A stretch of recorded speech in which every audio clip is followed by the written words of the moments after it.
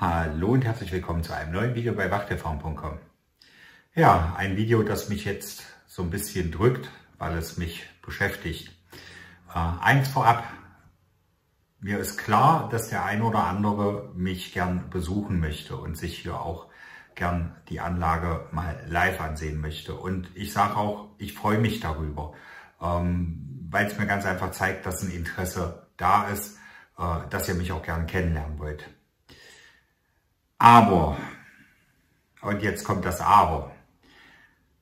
Vorhin standen hier Leute, standen ein Paar, ein Ehepaar, ein älteres, äh, bei mir vor der Tür.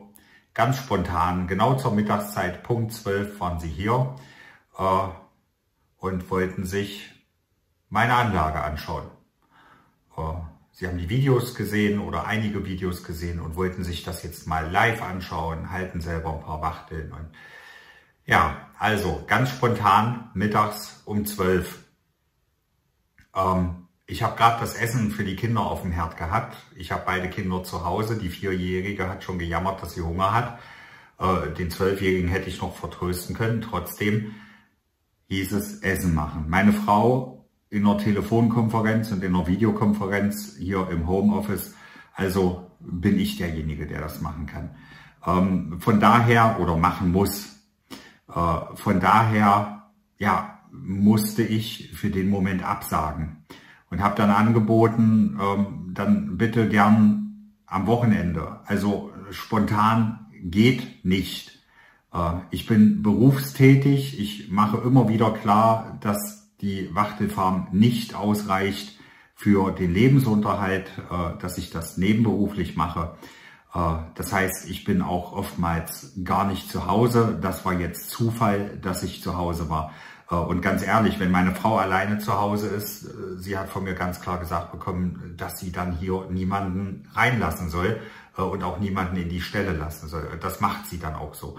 Ähm, das wurde auch kein anderer machen. Einfach mal sagen, na ja, dann wildfremde Leute, die einfach spontan vor der Tür stehen, mal reinlassen.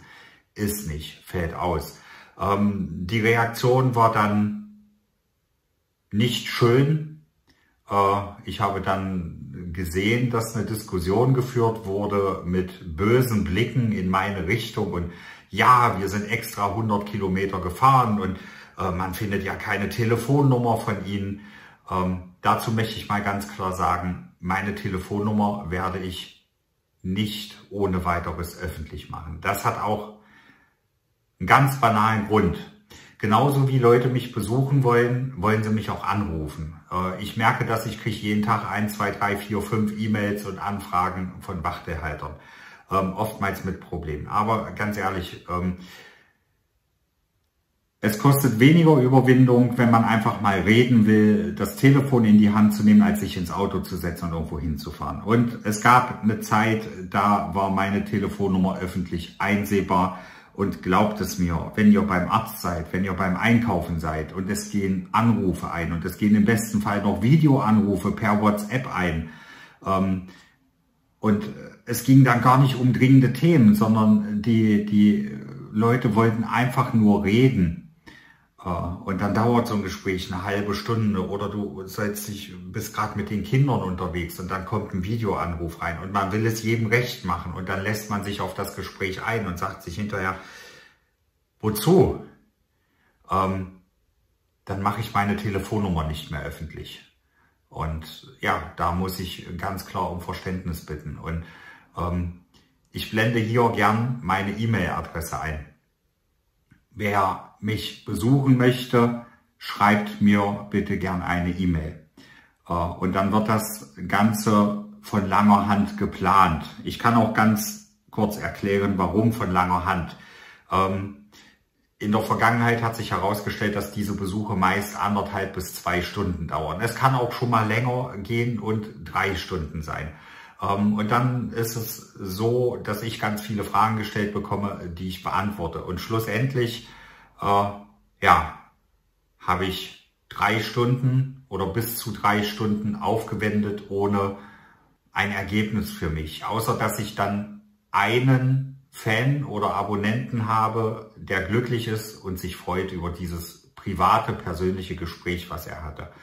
Ähm, das soll nicht heißen, dass ihr mir als Abonnenten und Fans nichts wert seid. Aber ganz ehrlich, mein Tag hat auch nur 24 Stunden, genauso wie eure. Ähm, ich arbeite auch nachts, weil die 24 Stunden am Tag nicht reichen.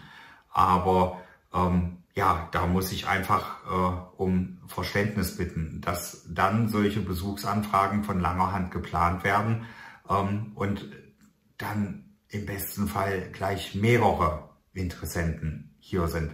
Dass ich nicht fünf, sechs, sieben, acht Mal mir zwei Stunden Zeit nehme äh, und in den zwei Stunden immer dasselbe erzähle, ähm, sondern dass man es dann einmal macht äh, und alle glücklich sind. Also, ähm, wie gesagt, wer mich besuchen möchte, bitte gerne per E-Mail kontaktieren. Meine Telefonnummer wird es nicht öffentlich geben aus besagten Gründen. Und ja, ähm, so ärgerlich wie das äh, für das Ehepaar gerade war und äh, die Diskussion war schon heftig und die bösen Blicke, die ich geerntet habe, waren auch heftig und ja, es tut mir leid, dass ihr 100 Kilometer umsonst gefahren seid, aber nee, den Schuh ziehe ich mir nicht an. Den ziehe ich mir ernsthaft nicht an, weil ich niemanden kenne, der im Nebenberuf, äh, im Nebenerwerb äh, irgendetwas macht und einfach mal so darauf eingestellt ist, dass Mittag um zwölf äh, Besucher vor der Tür stehen, die sich einfach mal was angucken möchten. Also seid mir diesbezüglich bitte nicht böse. Ähm, es ist einfach nicht zu machen. Wenn die Wachtelfarm hier ein Haupterwerb wäre, dann ist das sicher ein Thema, wo man sagen kann, okay, ähm, da haben wir eine feste Adresse, da kannst du hinkommen, da wirst du mich mit sehr, sehr großer Wahrscheinlichkeit antreffen und dann kann ich mir auch ein paar Minuten Zeit nehmen und genau das ist nämlich wieder die Diskrepanz. Wenn es ein Haupterwerb wäre, hätte ich doch aber auch den ganzen Tag mit den Wachteln und mit der Pflege der Wachteln und mit den Stellen zu tun und habe da auch nicht einfach mal noch zusätzlich zwei Stunden Zeit, äh, äh, für ein Gespräch, um, um alles zu zeigen. Ich kenne äh, Landwirte, die haben Rinderhaltungen, Schweinehaltungen. Auch da äh, gibt es Leute, die sich dafür interessieren und sich das anschauen wollen. Aber da gibt es dann auch feste Termine.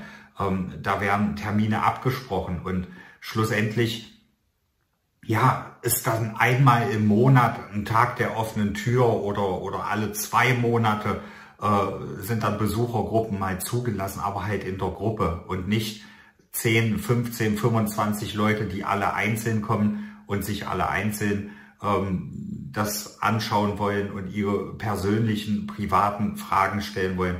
Also, wie gesagt, ich habe einen Hauptjob, ich habe die Wachtelhaltung noch im Nebenerwerb, aber selbst wenn ich sie im Haupterwerb hätte, wäre die Zeit gar nicht gegeben, äh, für jeden Tag spontan mal Leute in Empfang zu nehmen. Ähm, ich freue mich über jeden, der mich besuchen möchte. Aber bitte, bitte die E-Mail-Adresse. Nutzt sie, schreibt mich an, seid bitte nicht böse, wenn dann solche Sachen von langer Hand geplant werden.